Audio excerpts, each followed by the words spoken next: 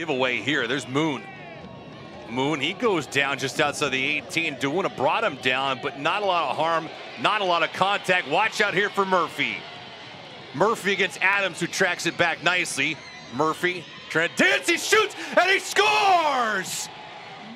Kyle Murphy lets that thing rip in the 61st minute. One on two, don't matter. Miami back on the board. They lead 2-1. Dawuna does extremely well to close down the space. It's a no foul. And then it's Chapman Page. We talked about him in the open. The ability to step into that middle third and kickstart the attack. Kyle Murphy talked about him in the open as well. Confident, knows exactly what he's doing, going to do. Sets up Kyle Adams, close to step off and close down the space. And when you give a confident striker the ability to create his own space, 18, 17 yards out, he's never going to miss. Opens up his hips and calmly slots it in. What a terrific goal